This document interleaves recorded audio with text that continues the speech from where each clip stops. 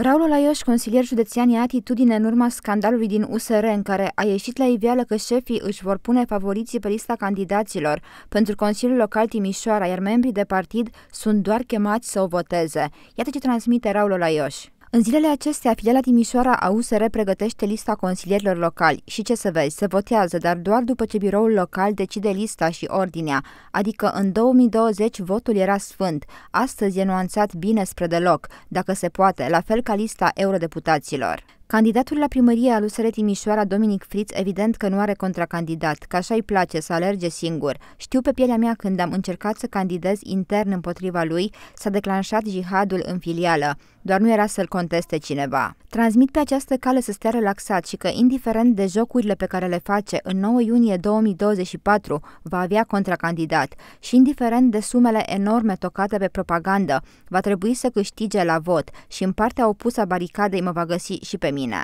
În rest, le spun foștilor colegi autentici susținători ai curentului reformist în administrație să nu-și piardă speranța. Există viață în administrația Timișoarei și fără friți Dominic, garantez.